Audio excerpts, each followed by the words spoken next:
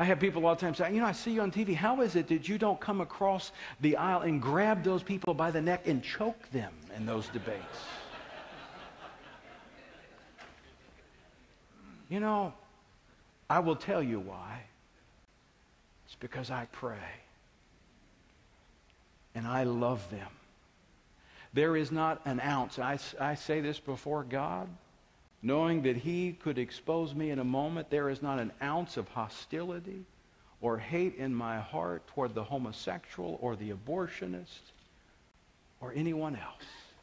And the reason that I can stand there and debate and, and cite the facts and the statistics is because my hope is to speak the truth. And every time before that camera goes on, I said, Lord Jesus, speak the truth through my lips that they might experience your love.